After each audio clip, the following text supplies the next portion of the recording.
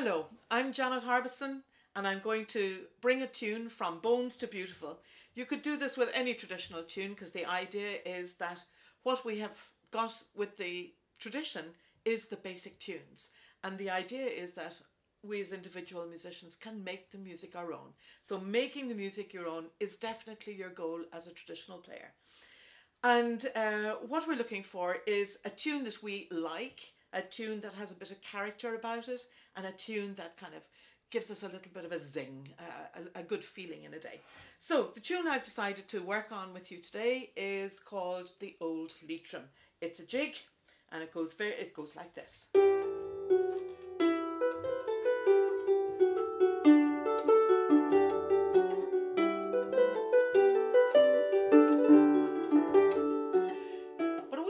Of me to play my version of it because I don't want to imprint your thoughts about it. So what I'm going to do is just give you the bones and then we'll build it up step by step. So, right hand, we've got one sharp by the way, C, C is our natural. Is your theme. So start off two fingers G A, one, two, three, one, two, three, landing on the E. And then you've got a little ending. Very simply. Okay, so put the two bits together. One, two, three, four. Same again. One, two, three, four. That's your first phrase. Second phrase, down the chord of D with a different ending. Okay, so taking that second phrase again, starting as the first, but then going down the chord of D and then reiterating the chord of D. So let's put the two phrases together.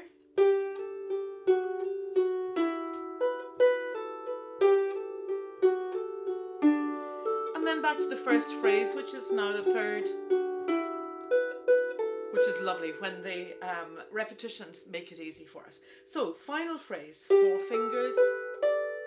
So, definitely we've got some beautiful harmonies going on here because we're moving temporarily to the chord of G, having come from the E minors. So, G, A, B, D, going down the chord of G, and then thumb to A, and fours coming way back down from G to D at the end. So, that final phrase, down the chord of G, and A, fours, same again, fours and and G or A. Now, all the way from the start.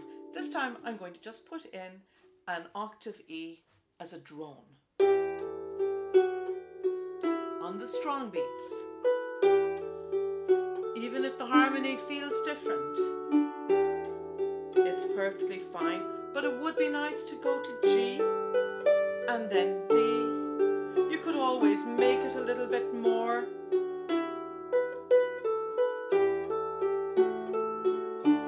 More expansive harmonically. And back to G. Good. Second part of the tune. So, starting up.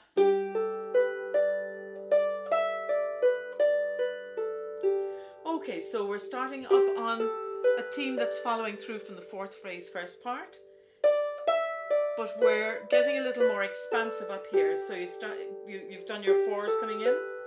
Two one two three one two three again coming down from the deep, skipping the C both times. And then second phrase. Where have you heard this before?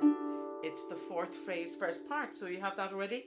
Third phrase will be the same as the first in the second part. Lovely. The last phrase is different. Come over and down the chord of G. So you're running up to top G and then coming down the chord, thumb to A and fours back down to D. And that's your second part. So all together, one, second phrase, Third phrase, same as the first. Last, up to top. And same again. G octave in the left. G. And you could go back to D if you wish. Back to the G. Now you could stay with the G at the end. There. Or you could go to harmony of C underneath it, that gives it a little bit more harmonic push to back to the beginning. Okay, so let's take our tune. The first part of the tune is first thing we're going to do is find what is the salient character of the tune. Well, this opening is strong. So we have strong G, F. And as we traditional players would do, we would always use plenty of accent. So the other notes of the triplet rhythm, one, two, three, one, two, three, are going to be um, less volume. But lesser volume again will be the ornaments that we bring into the tune. So we've got cuts, runs, rolls, triples, trebles, slides, shakes, and there's probably a few more I haven't thought of. But the first and easiest one, which is just involving grace notes, just that single little note. Okay, what I did here was I just introduced a grace note on the strong beat.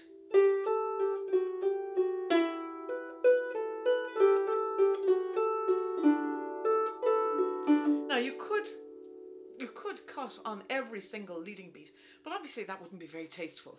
So you have to choose. But the idea is that when you are starting off, experiment and use your ornament, but put it in everywhere to see where you like it particularly well. So that's putting the ornament, the uh, cut on the leading beat. But we could put it on the second of the triplet beats,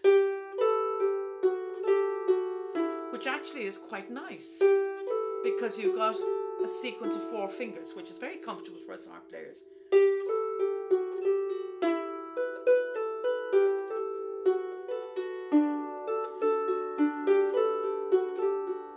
Okay, so that's the cut on the second of the triplet beats. What about on the third? And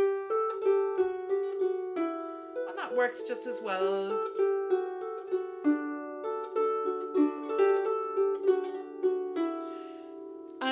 Could give yourself a little, I suppose, mental exercise. Play it through one time with all the cuts on the first beat, first of the triplets, on the next of the triplets, and then the third of the triplets. Let's see if I can do it. So we're starting off.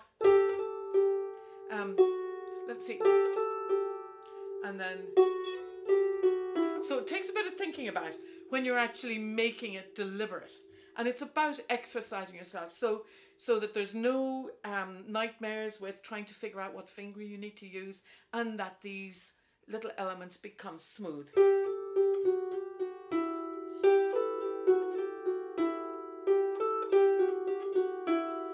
And before you know it, you should have any one of those choices. And that's just using cuts. Right, what about a roll? So, well, that's nice and easy, isn't it? Now, what about making instead of just going with a simple run? Why don't we do so? That's using four notes instead of three. We could also do, you know, make it a big, big, a big stretch. Going to have an awful lot of time to do these things. But experiment. Don't be content with doing it one way, the only way, all the time, because the world is your oyster. You have lots to say. So um, that's taking it and looking at runs from above. You could also do, you could run from below. And essentially, it's four notes at least moving toward or uh, from above. So from below or from above the main note. And you know, and it could also be a chord that you would introduce. So it could even just act as a chord. So that's runs. So you've got lots of options there on our, our little bit of melody. So cuts, runs, rolls. Now this is the fun one. Here's one.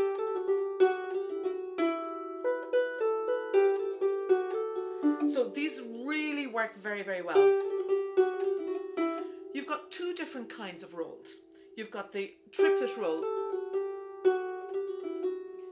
which for harp players is a beautiful roll, very easy to play. So you start off second finger or a leading finger, doesn't have to be the second, but the roll itself, one, two, three, thumb, and then on the final note, when you reach the thumb, you must dampen the lower note of the roll, or you're going to have that horrible sound carrying through. So, and then, and if you're going down in this sequence, then the damping is dead easy. It's it's doubling up as placing for your next note. But it could also be, you know, you can still do you can still do that action going upwards, but it takes a bit more technical prowess. Okay, so the alternative to using a triplet roll so if you listen to that, the inner note da, da, da, is what differentiates the triplet roll from the cut and tip roll. So the cut and tip roll is where the G note is the inner note. Da, da,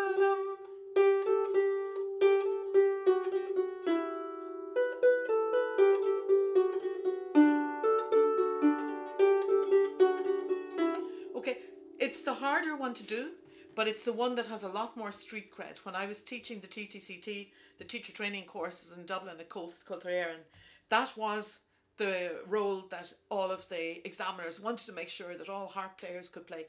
It's fiendishly hard, um, but it's worth it's worth the practice. So you've got two different kinds of rolls there, and they're both long rolls. Because of the way the shape of the melody, you can start on the G, finish on the G. You can also use rolls, four note rolls, but they would be where you're starting on a different note, ending on a different note.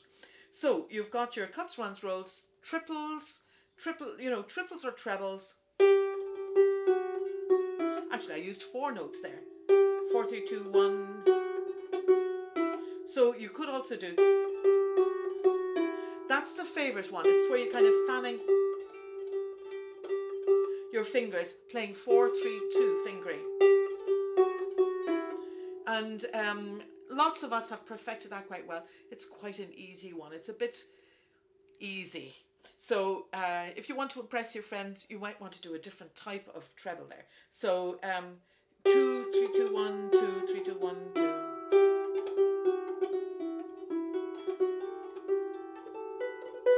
So the idea is to practice where you can get absolutely clean, crystal clear fingering, um, that you're going to get a nice clean uh, ornament because nobody else will appreciate the difficulty of what you're doing. All they want to do is to hear the darned tune and to savour it. And uh, the easier you can make it, um, obviously, the more cool it is. So, so the idea is to do your practice, is to do your practice. So, oh, trebles, yes. Now, um, I find the 4-2-2-1, if your fingers are loose and you're able to play close to the strings, uh, you shouldn't have any problem making sure that every single note sounds well. You can play the triplet on the beat or to the beat. Different sounds. It depends where you're putting the triplet in that, um, or so it could be.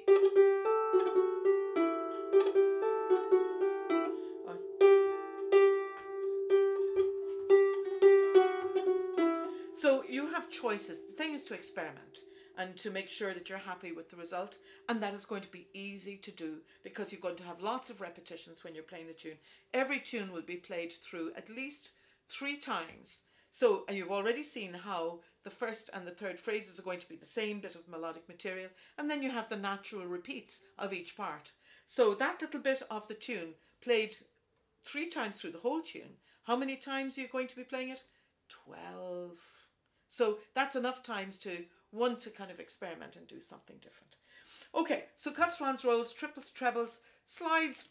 You know, you know, lots of people can do do. Um, it's a bit gimmicky. I'm not sure that I would bother going there. I mean, there's slides that you can do on other instruments where you can. You can you can slide or stretch the note by stretching the by pressing down on the soundboard. Um, but it's something that other instruments will find easier to do. And the idea is don't crucify yourself unless you're seriously out to impress, in which case, bring it on. But in the meantime, there's more that we can be doing. Okay, so we have had a look at what you do with that. You can take any of the ornaments and, you know, to any of the other notes, and it's about choice. The idea that you would play it the same way twice is almost boring before you even start. So the idea is make it interesting. Make it interesting for yourself and for the other instruments that are, and the other musicians in your company that are going to be listening for all the cute and amazing things you do with the tune because it's the tune they're listening for. They will be impressed to see you um, playing lots of interesting left hand accompaniment parts, but most traditional musicians won't appreciate what that's doing. And a lot of the time, if you make it too busy and too characterful, it takes away from the tune. They want to hear what you and your imagination can do with the tune. So let's have a look at what we can do simply with the left hand to enhance. There are three main standards or of um, or of developing the tune with the left hand. The first one is just bones and drones. That's the old bones, drones, and doubles. So you've got um, and this is a very easy way of reducing. So if you find that you're in a session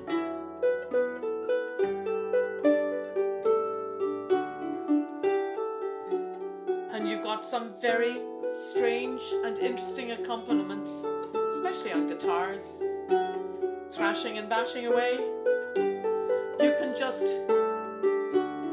immediately reduce what you're doing back to just the um, the the tune and the uh, drones and doubles. So a double is just literally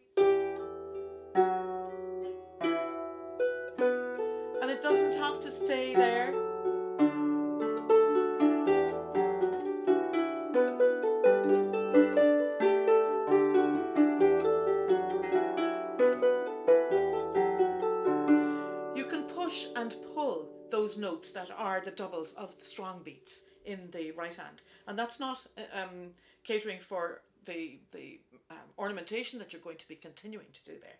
So in that left hand, and if you look at, you're going to find as much as you practically need. And certainly that will be enough for a perfectly good traditional environment. If you look at the old transcriptions, the few that exist of Carolan's music, you find this is exactly what harpers were doing three and a half hundred years ago. So if it was good enough for them, it definitely is rooted in tradition. So that would be your, your first port of call. Very easy to do. It takes no effort. The tune is telling you everything.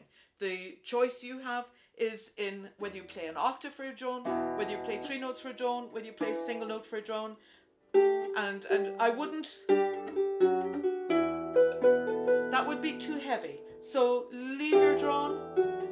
So it's literally drone, double, double, double, drone, double, double. Okay, so that's your first port of call. The next one is to use chords, to look at what is the chord plan of your tune. First four chords, very straightforward, E, D, E, E. Okay, E, D, D, D for the second phrase. First is going to be the same as the third. And then we've got that lovely move to the, the G chord and then D chord. Okay, so in the last phrase you'd have G, G, D, D. Okay, these are the chords that are spelled out by the tune itself.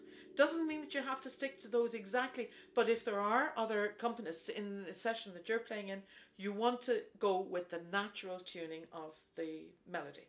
Now,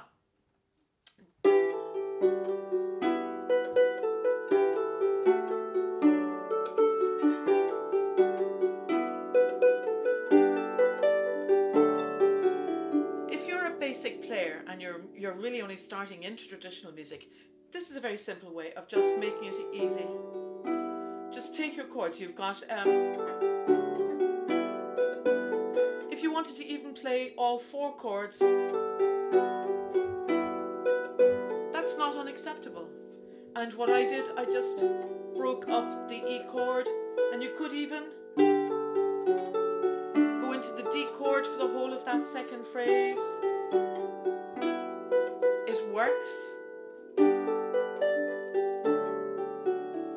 Okay, so there you've got some very basic. Now, to take it um, a little bit further, you can change the shape of that E chord. If you've got E, G, B are your chords, your, your changes of position could be G, B, E or B, E, G. Drop it an octave. You could. Now, obviously, that's very low, it's very growly, it's not a place that's very pleasant to go. But you could extend the chord to maybe a 10th chord. When you're getting a lot of changes in the bass, you want to be careful to damp your, your bass. What about just playing a tenth? Now, this is a very common usage of bass line. It's harmonic in that you're, you're, you're um, reiterating what the chord is in the natural harmony. And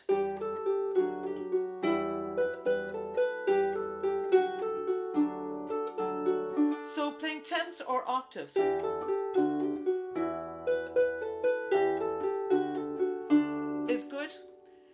But when we get to the third aspect of what we're doing, think about your bass as your baseline. So we want to make it interesting. So you could. Um,